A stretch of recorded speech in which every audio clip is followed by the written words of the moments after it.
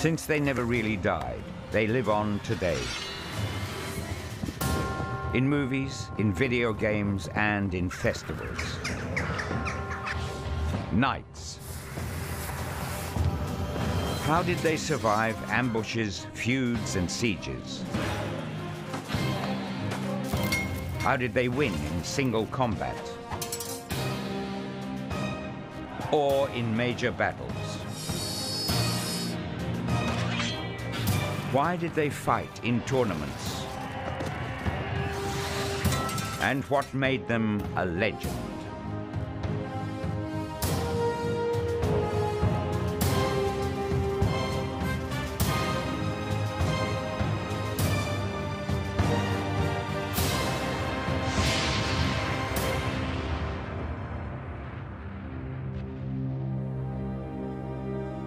Our history of knights begins not in castles, but in forests and fields with free peasants.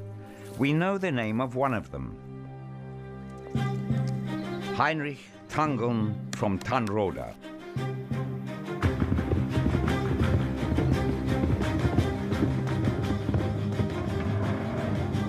Every summer, when the campaigning season began, he could expect his king to summon him to arms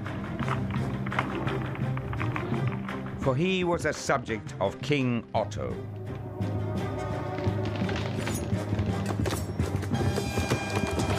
Vorsicht, Herr Baumfeld! Die Ungarn! Sie brennen und morden wieder! In acht Tagen auf dem Lechfeld! Und wo ist das? Bei Augsburg! Das ist unmöglich! Ihr müsst! Der König ruft euch! Reitet Tag und Nacht! Na los, holt mein Pferd! Heinrich was neither a professional warrior nor part of the Saxon nobility. But in the early Middle Ages, all free men had to follow their kings to war.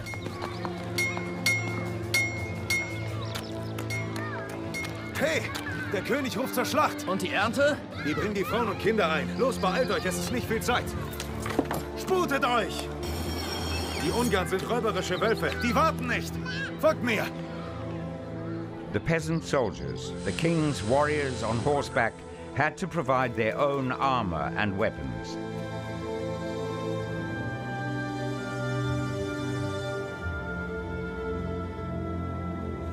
Du bist ein Tange, mein Sohn.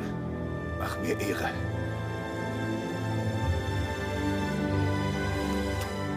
Pass auf dich auf und komm gesund zurück. Für den König! Für Tanroda!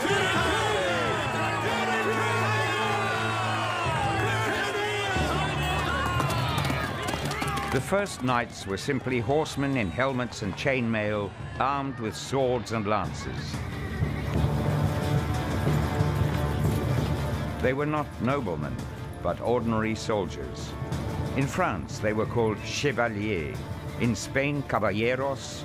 In Italy, cavalieri. And in Germany, ritter, or riders. By 955, the Holy Roman Empire had been raided many times by bands of Hungarian horsemen. They marauded their way across Germany and even crossed the Rhine. King Otto called on his subjects to come to the Lechfeld near Augsburg to wage a decisive battle.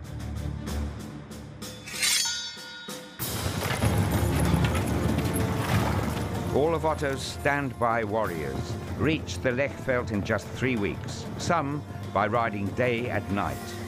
For Otto, everything depended on his men in iron.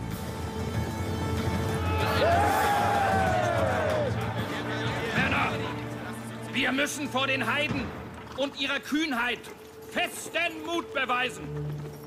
Lieber im Kampf sterben, als in Knechtschaft leben. Doch jetzt!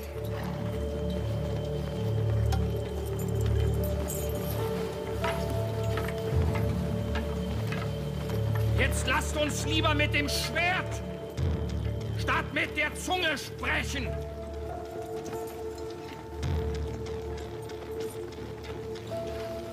Vater im Himmel, gib uns Sieg und Leben! 7,000 armored horsemen had answered their king's rallying call. His chosen battleground, the Lechfeld, was a wide open field. In all of Europe, no enemy was more feared than the horsemen from the Hungarian steppes, for they did not seek single combat, which Otto's warriors preferred. They used mainly long-range weapons, and so Otto held his riders back. Kommen lassen! Lass sie kommen! He waited until the Hungarians had advanced far enough for close combat. Habt Mut und schützt Gott! The Hungarians were able to use their bows even at the gallop. Shower after shower of arrows rained down on Otto's men.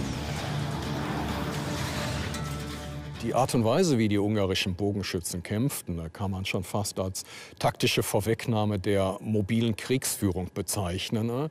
Die Stärke dieser Bogenschützen lag in ihrer Beweglichkeit und ihrer Schnelligkeit im offenen Feld.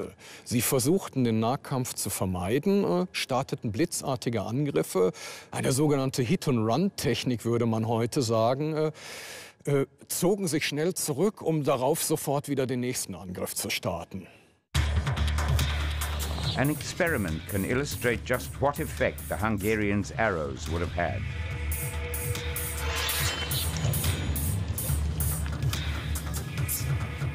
Andrei Brinneker is one of a handful of specialists in Hungarian bows. It took him many weeks to make this bow.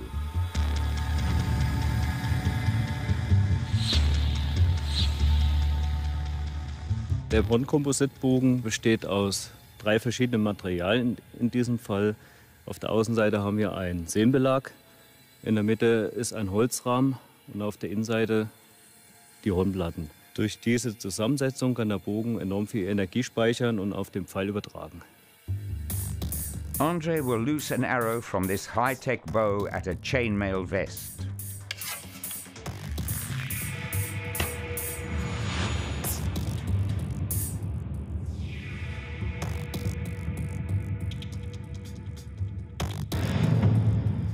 In der experimentellen Ballistik und der Wundballistik wird Glycerinseife verwendet, um zu simulieren, wie sich der menschliche Körper verhalten würde, wenn er mit einem Gegenstand beschossen würde, beziehungsweise wenn ein Gegenstand in den Körper eindringen würde. Und man kann daran zum Beispiel sehen, wie tief dringt ein Körper ein. Und man kann dann auch direkt messen, wie hoch ist die Energie, die von dem eindringenden Körper, zum Beispiel einer Pfeilspitze oder einem Projektil, auf das menschliche Gewebe übertragen wurde. From a standard fighting range, Andre draws back the bowstring and takes aim at the chainmail. Nine millimeter steel rings riveted together, backed by a padded vest, the gambeson, versus a razor-sharp 11-gram arrowhead.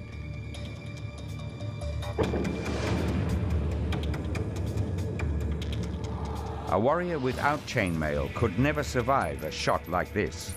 But what about a warrior wearing the mail? Die Pfeilspitze ist in diesem Fall durch das Kettenhemd durchgeschlagen. Das heißt, man kann hier in diesem Bereich sehen, dass mindestens eines der Glieder durch diese Pfeilspitze durchdrungen wurde. Von dort aus ist die Pfeilspitze dann durch diesen Gambeson hindurchgegangen. Und auch hier ist das Gewebe vollständig in diesem Bereich durchdrungen worden. Und danach hat es dann diesen Glycerinseifenblock getroffen. Man sieht hier diese Pfeilspitzenbeschädigung bzw. Verletzung, die bis zu sechs Zentimeter in diesem Block und damit in das Weichteilgewebe eingedrungen ist bzw. wäre. Chainmail was no protection against a well-aimed arrow. They could only fend them off with their shields and wait for the order to attack. Männer! For Otto knew that if his men could bring the Hungarians to bay and use their swords and lances at close quarters, they would have the advantage.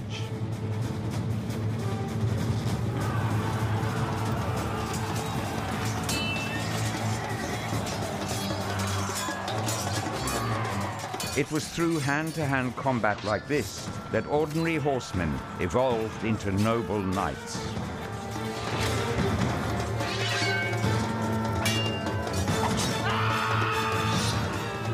Otto's men won the Battle of Lechfeld.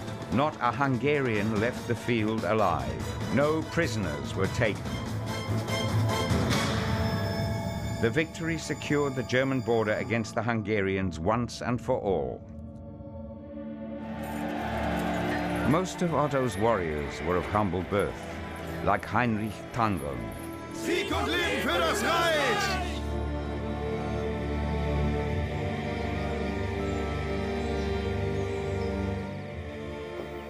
Even though Heinrich was born a peasant, his service was rewarded with the right to bear a sword in the king's name. Das ist für dich, mein Edler. He wasn't knighted. The rank of knighthood would not exist for another century.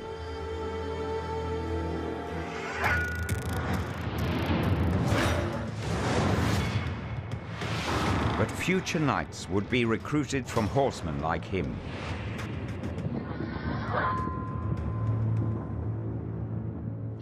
In the year of our Lord, 961, Heinrich Tangeln was presented with a sword in the name of the king. Heinrich von Tanroda, der König macht dich zu seinem Gefolgsmann. Knie nieder. Sei weise und voller Güte. Sei mutig vor den Herrn und wohltätig zu den Armen. Sorge für Weise und Witwen. Vor allem aber liebe und ehre Gott. Folge seinen heiligen Geboten in deinen Taten. Ich schwöre, dass ich dem König treu und gehorsam sein werde. So wahr mir Gott helfe. Um Christus willen. Amen. The sword meant that Heinrich had joined the warrior elite of the Holy Roman Empire. It was the last time he would have to tolerate a blow. From then on, he was permitted to draw his sword to defend his honor to the death. His sword was a sign of his power and freedom. In the 11th century, many ordinary mounted soldiers, men like Heinrich Tangeln, were raised to the status of noblemen and knights. The ritual blow on the back and conferring of the sword evolved into the gentler dubbing, also known as the accolade. Only a king could perform an accolade, and the term is still used to mean great recognition and honor.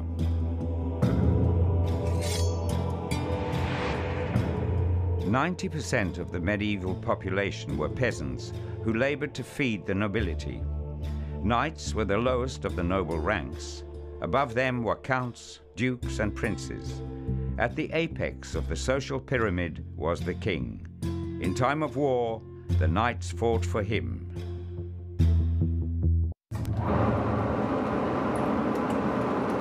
From this fire, Stefan Roth forges authentic fighting swords based on medieval originals.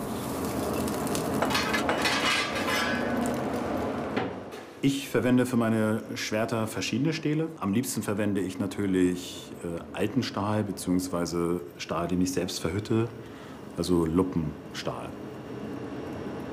Bei dem alten Material ist es einfach so, es ist für mich persönlich, es ist organisch, obwohl es natürlich nicht organisch ist, aber es ist, es ist organisch.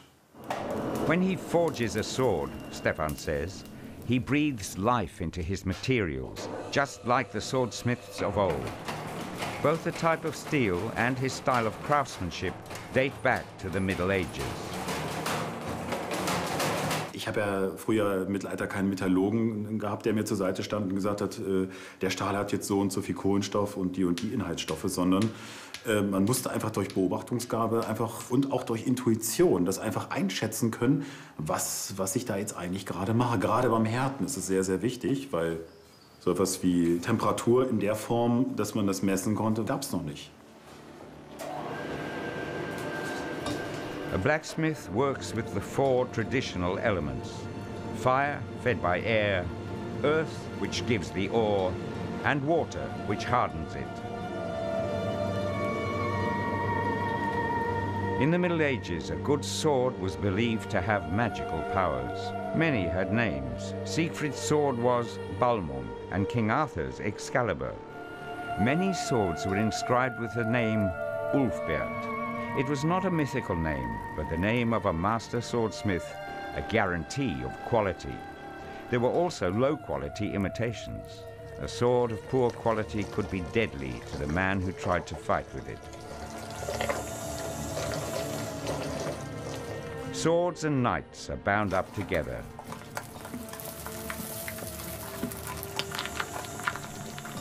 In war, swords were their weapons. In peace, their status symbols.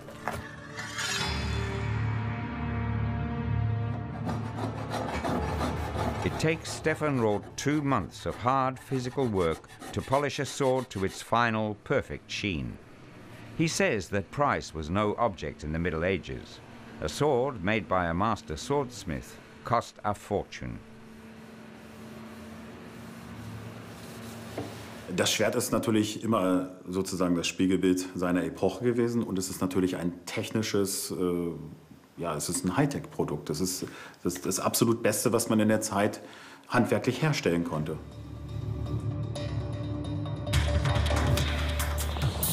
How did this high-tech product perform? How did knights use this most knightly of weapons and protect themselves against it? Andreas Kruger has studied medieval weapons in depth and has learned to fight with them like a medieval knight.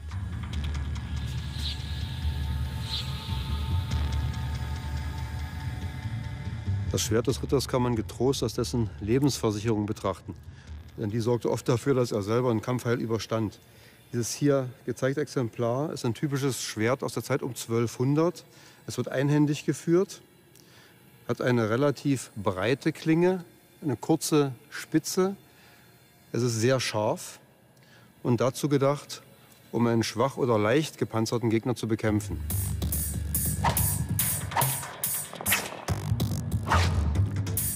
One thing is obvious. The sword is as sharp as a Japanese sushi knife. So did chainmail provide any protection? It did against a sword blow. The sword glances off the mail.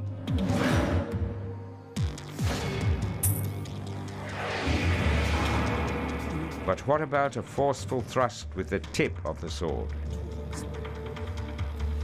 Bei einem Schwert handelt es sich um einen scharfen Gegenstand, mit dem man Stiche und Schnitte ausführen kann. Im vorliegenden Fall war dieser Gegenstand allerdings nicht in der Lage, dieses Kettenhemd zu durchstoßen oder zu durchschlagen.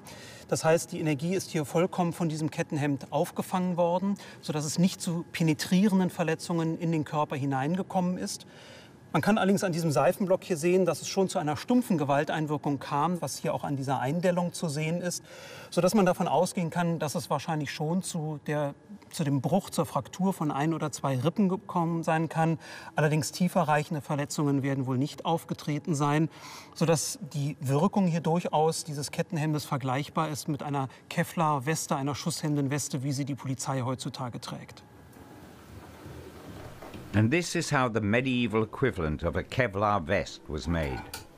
Geralt taught himself how to link chainmail, carefully joining up to 50,000 rings to make a single suit.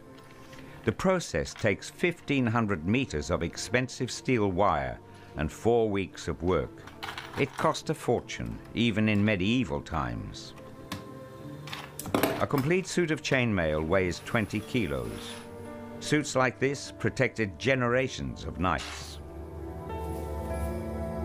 One suit of chainmail from the time of the Crusades was used for an incredible 700 years.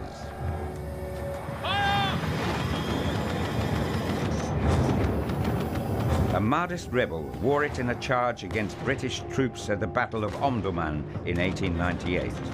Unfortunately for him, the British had by then acquired the Maxim gun, an early form of machine gun. It took the fancy of someone among the British to stuff the courageous warrior as a kind of trophy. Today, this very old chainmail is kept in a wardrobe in a South German castle. It is probably the oldest and best preserved medieval chainmail in existence.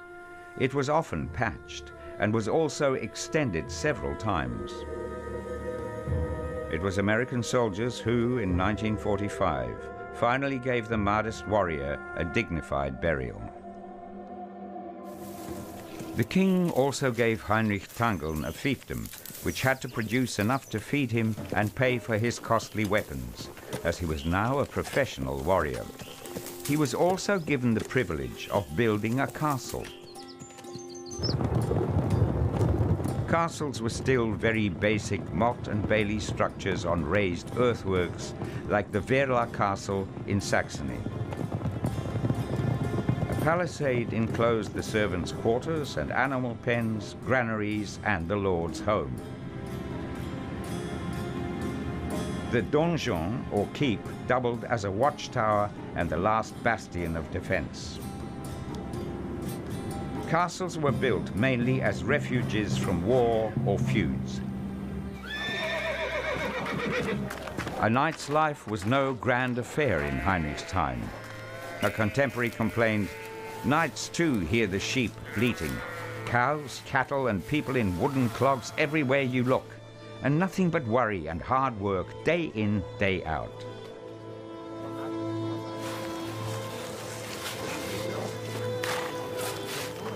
For centuries, that was what daily life was like for many knights.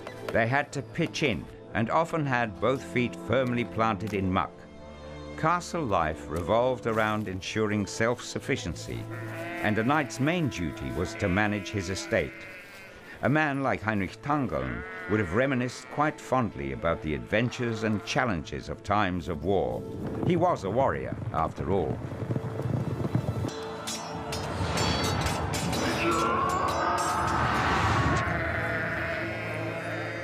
And the noble lady she was born to give birth. The primary purpose of medieval marriage was reproduction. Without children, above all a son and heir to keep the dynasty alive, all the effort would be in vain. Ah, es ist ein Junge, Gott sei Dank.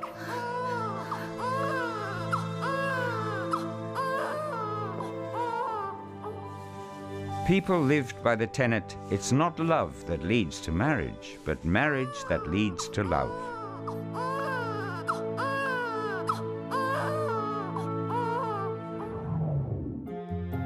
Knightly families were mainly interested in increasing their power, wealth, and social standing.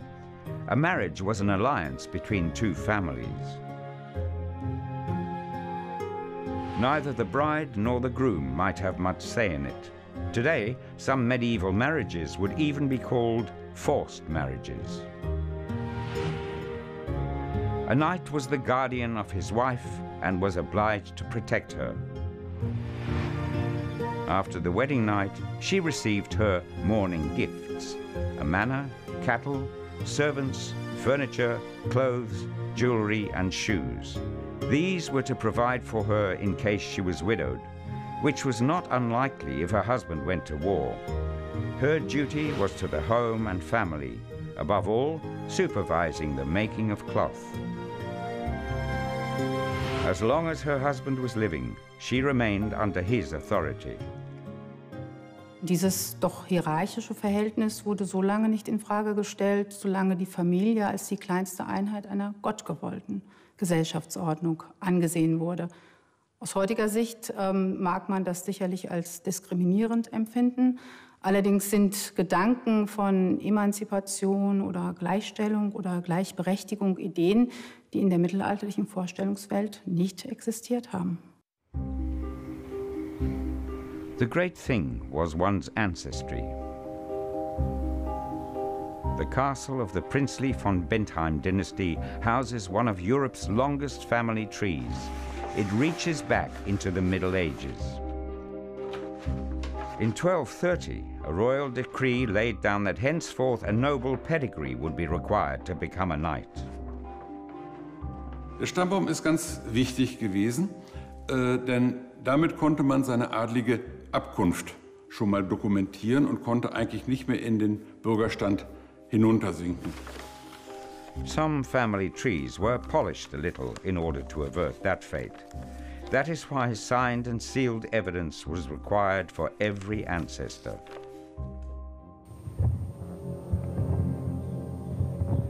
Heinrich Tangeln of Tanroda was promoted into the warrior elite solely on his merits. He was not required to prove noble ancestry. In the eyes of the established nobility, that made him an upstart. Pulled out of the gutter, raised from the dirt.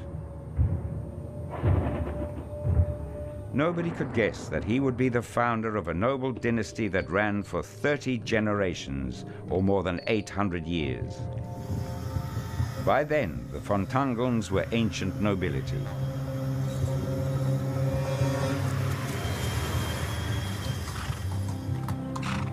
By contrast, Reinbold von Rappelstein was born a knight. He had inherited everything that made a knight a knight, a title, a horse, armor, and weapons. But a knight still had to prove himself.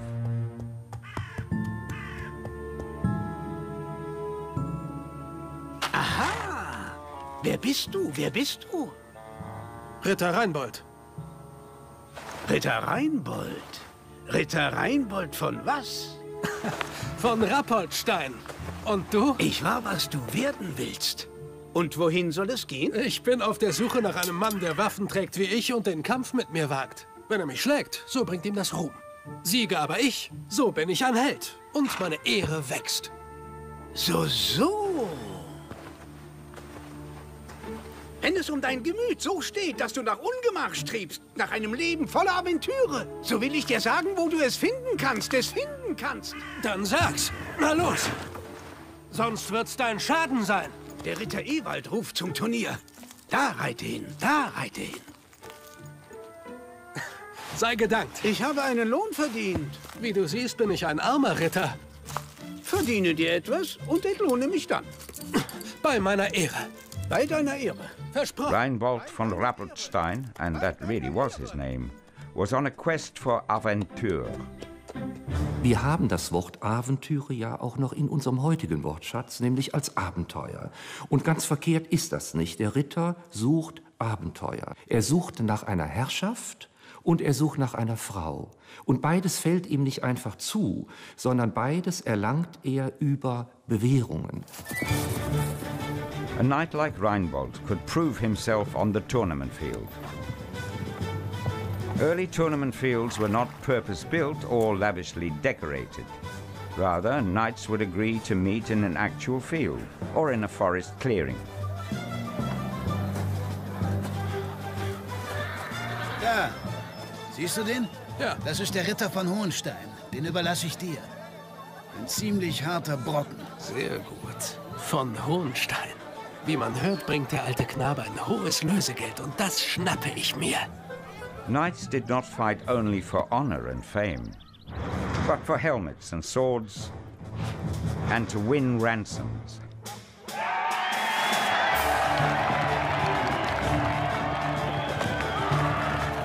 There was not much difference between a tournament and an actual battle. Tournaments were war games with real fighters and real weapons. Fighting was prohibited only in corners of the field where wounded men could seek refuge. Otherwise, there were few rules. The wounded were treated by barbers. The loss of a limb was always a possibility.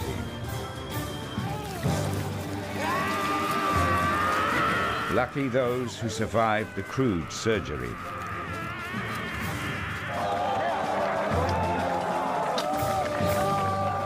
The church was strictly against what it considered to be a vile and violent pastime. It placed a ban on it.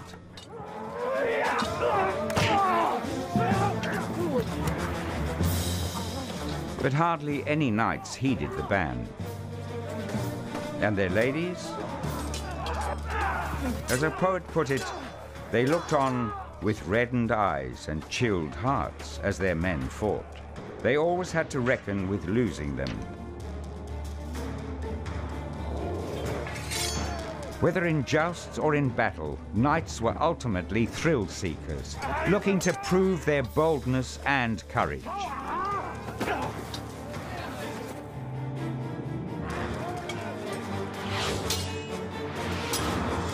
Their motto was, go for it. Regardless of whether some of their number were left on the field injured, maimed, or even dead. Was jetzt? Gibst du auf, Hohenstein? Friede, Friede.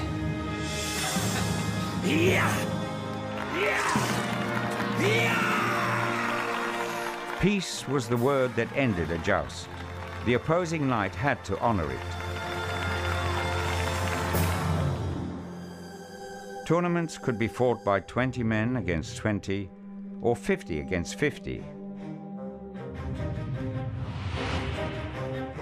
Sometimes even a hundred men battled another hundred, as if in a war.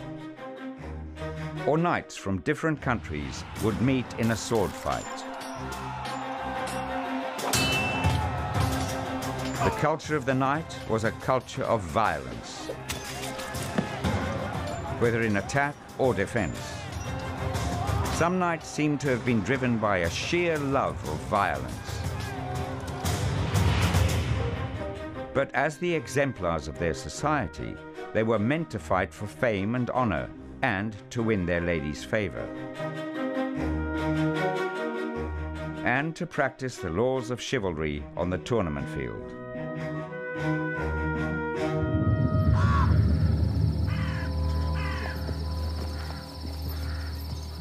Tournament often ended only at nightfall.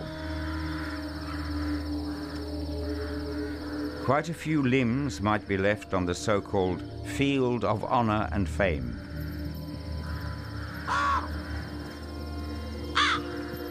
And plenty of dead, who left behind widows and orphans. For no matter how famous he might be, a knight still had only one life. Wir haben euch jemand mitgebracht! Den Hohenstein! After a tournament, prizes were awarded to the winners and the spoils were divided. Sagt, edle Dame, was wollt ihr für euren Hohenstein bezahlen? A wife could recover her husband for a price. Ritter Reinbold, glaub mir, wir werden uns wiedersehen. Jetzt komm du mir erstmal nach Hause. Aha. Ab nach Hause mit dir! Und wir anderen wollen jetzt Feuer! Und euch zwei Hübschen zeige ich jetzt mal, wie wir auf Rapolstein tanzen! The knights would feast as ferociously as they had fought, although some had to be prized out of their armor first. Weg mit dem Helm, jetzt wird gefeiert! Spoils and any ransoms were shared out. For many, though not for all, the motto was easy come, easy go. But if a knight wanted to be well regarded, he had to be generous. Der Ritter sucht im Turnier auch nach Beute, er sucht nach Gewinn, aber er sitzt nicht auf diesem Gewinn, sondern er verschleudert ihn. Dabei kann man an zwei Motive denken. Einerseits braucht er ja auch Leute, die ihn unterstützen und das Ganze führt dann zu einer Bindung äh, aneinander. Auf der anderen Seite aber will sich der Ritter auch unterscheiden von dem Bürger. Der Bürger, der auf seinem Pfeffersack sitzt, der immer mehr Gewinn anhäuft, das ist nicht das Leitbild, sondern das Leitbild ist dieser freie Mann, der nicht nur frei ist, in der Schlacht sozusagen andere äh, umzubringen, sondern auch diesen Gewinn zu verschleudern. Das ist wahre Freiheit.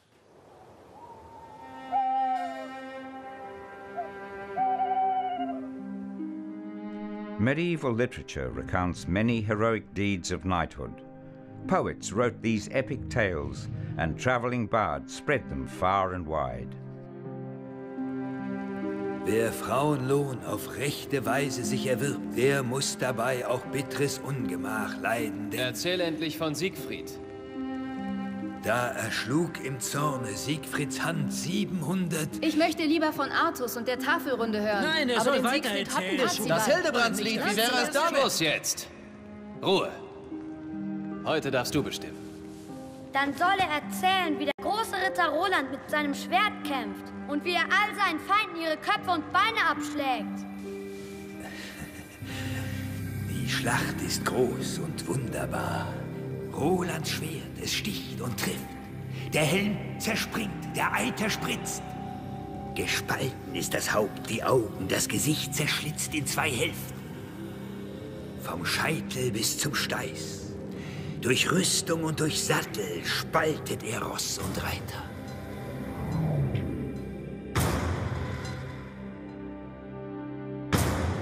Knight's tales of the early Middle Ages were what splatter movies are for us today. Their gory details sent a shiver down the spine, even as the audience luxuriated in the safety of the fireside. But they were also a form of mental preparation. Knights had to be able to endure the horrors of the battlefield and to kill without mercy.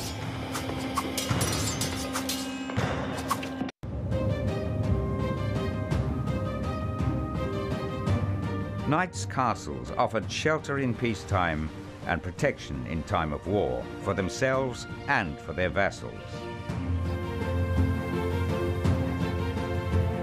But castles were, above all, symbols of the power and prestige of the nobility visible from afar. In the 13th century, the heyday of chivalric culture, there were 13,000 castles in the Holy Roman Empire alone.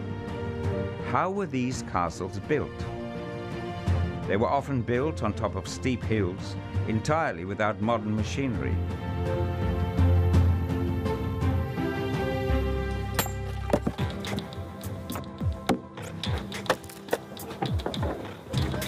We can see how it was done at Guédelon near Paris.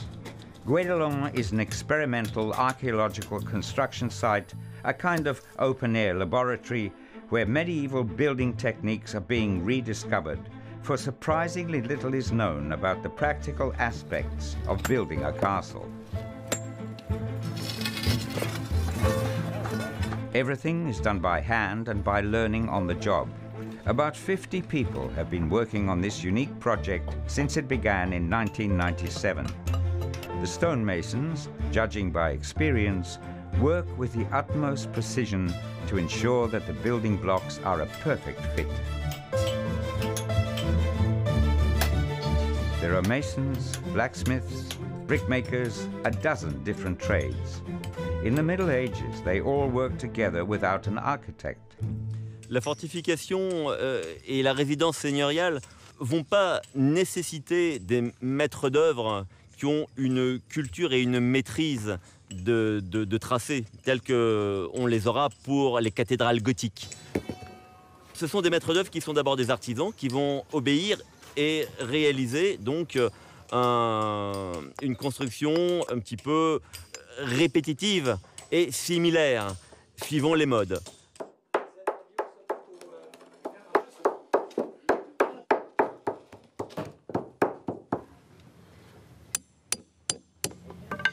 Medieval castles were regional buildings. Everything had to be sourced locally. The timber, the stone, the clay for tiles and bricks, for transport was expensive. The modern world would call it environmental best practice. And castle building was also a sustainable source of employment, even if some of the labor was hardly voluntary. On peut supposer qu'un seigneur va engager des équipes restreintes, qu'une cinquantaine euh, de, de, personnes euh, employées à la construction euh, suffisent. Et il y a quelques textes qui permettent d'imaginer qu'une construction pouvait s'étaler en 10 ou 15 ans. The tread wheel is a major attraction at Guédelon. This Magna Rota was built according to medieval plans. A wheel, an axle, a rope, That's all it took to build the medieval version of a crane.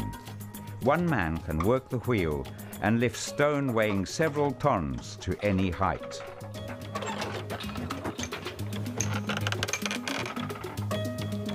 Guédelon illustrates every aspect of how a medieval castle was built. It will be 15 years before the castle is ready to face a siege by a medieval army, or more likely by tourists. For many centuries, a castle was the ideal refuge from an attack or a siege. Only a handful of knights and men-at-arms were needed to defend a well-fortified castle.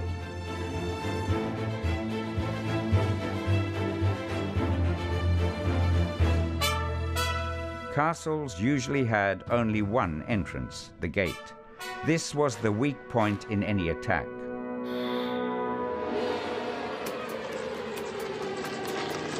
A drawbridge spanning a wide moat helped keep unwanted visitors out. The gates were usually guarded by a crenellated gatehouse to give early warning. And even if attackers managed to get through the gate, they met further obstacles. From the murder hole, stones would rain down upon them. Then they had to fight their way across the courtyard.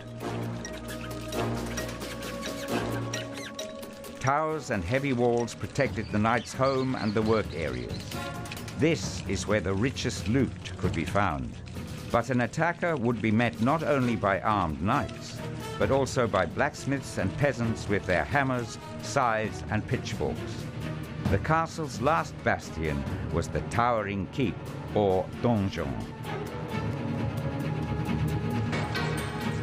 If necessary, the castle's defenders could destroy the timber stairs to the keep and use another murder hole to defend the entrance. But if the attackers managed to break open the door, all was lost. There was no retreat except upward. To finish the defenders off, the attackers could resort to fire. But knights were worth more alive than dead. Alive, they would fetch a ransom, and few attackers would wish to take possession of a ruin. The alternative was to fight one's way up the stairs. But in reality, not many attackers got that far. Before the invention of heavy siege equipment, castles like this one were virtually unassailable. After all, deterrence is the best defense. So castles remained the symbol of power for centuries.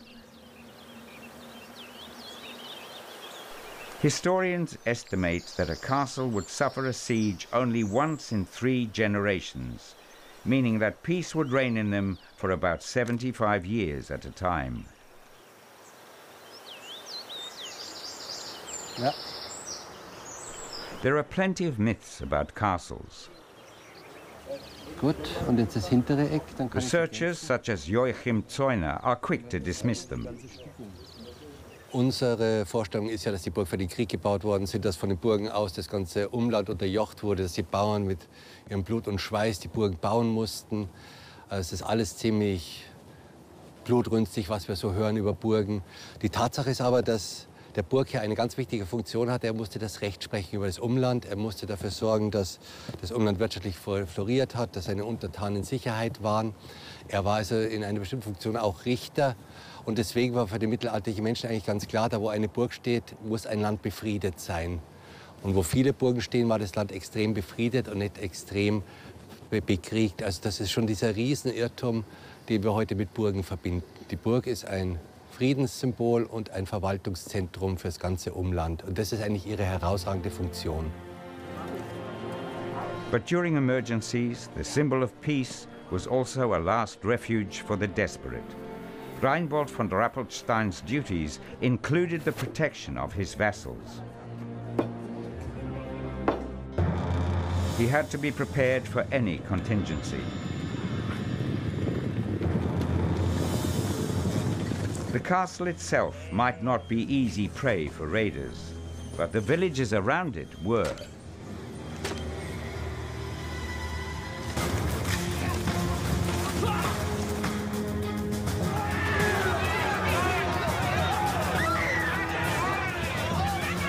Landless knights who marauded the countryside were known as raptores, Latin for plunderers.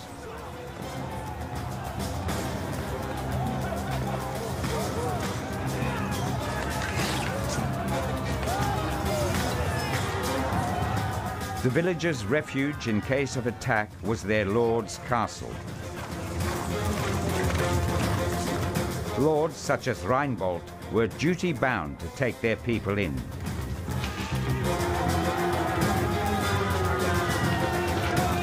That was part of the division of labor between the social estates.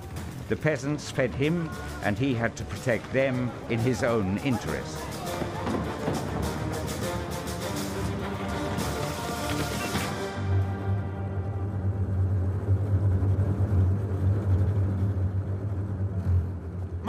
Eigenen Brüder? Ihr überfallt die Dörfer und raubt die Bauern aus. Dazu habt ihr kein Recht. Ein Räuber? Bist du doch selbst! Nichts hast du uns gelassen! Du hockst auf deinem Erbteil! Und deine Brüder fressen Dreck! Reinbold! Wie soll ich eine edle Frau bekommen, wenn ich nichts besitze? Keine Burg, kein Geld, nichts! Soll ich ins Kloster? Ich bin Ritter wie du! Das ist kein Grund, den Gottesfrieden zu brechen und alle Gesetze der Ritter! Ich werde euch bestrafen! Das kommt euch teuer zu stehen! Und jetzt geht! Verschwindet von hier! Schert euch zum Teufel! Fehde! Auf Leben und Tod! Habt ihr verstanden? Jawohl, Fehde auf Leben und Tod! Wie du willst! Wirst ja sehen! Das ist euer Ende!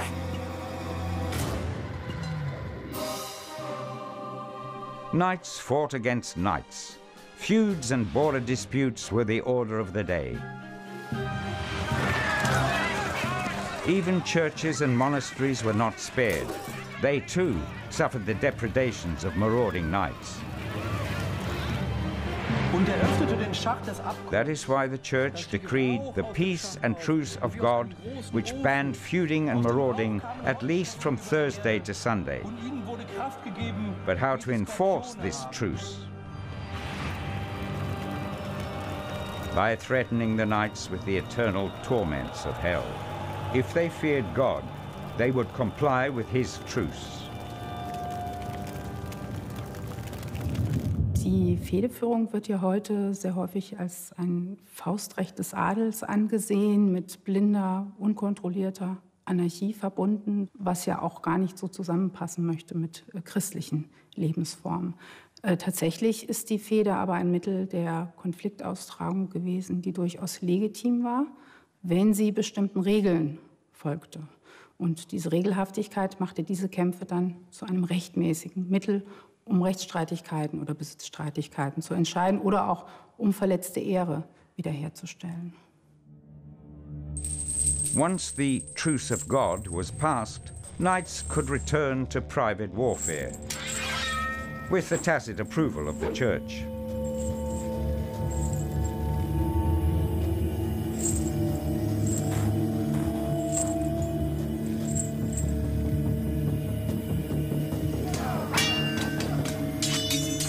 Might is right. That was the knight's understanding of law.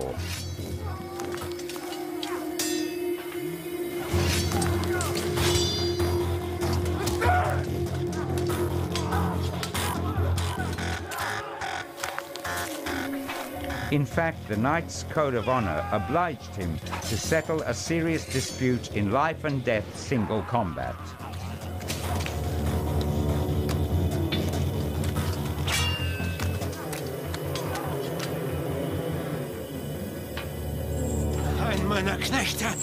Auf dem Gewissen. Auge um Auge.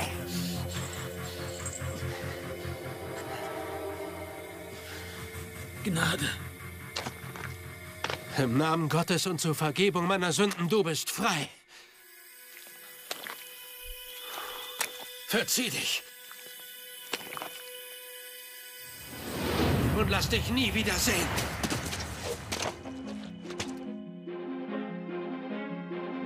The ideal of the Christian knight was still a long way off.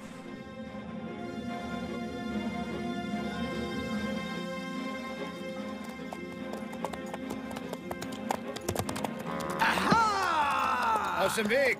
Lass ab! Gut, Freund! Gut, Freund, gut, Freund! Hier ist dein Lohn. Wie versprochen. Hat er sich's also verdient? Genau so ist es. Und ich bin es dir schuldig. Du hattest mein Ehrenwort als Ritter. Dein Ehrenwort, dein Ehrenwort. Und? Hat er gefunden, was er gesucht hat? Freilich. Ungemach und ein unbequemes Leben? Ich habe turniert. Ich habe gesiegt. Ich habe es zu Ruhm und reichem Lohn gebracht. So, so, das ist also dein Ding. Ja. Und will er denn nicht ein edler Ritter sein? Ein edler Ritter bin ich doch schon. Ihr tragt strahlende Helme und ein geweihtes Schwert. Strahlende Helme und ein geweihtes Schwert. Aber bist du auch Gottes Segen wert? Gottes Segen wert? Gottes Segen wert? Love this program? Buy the DVD at ABC Shops, Dymocks, and the SBS Shop online.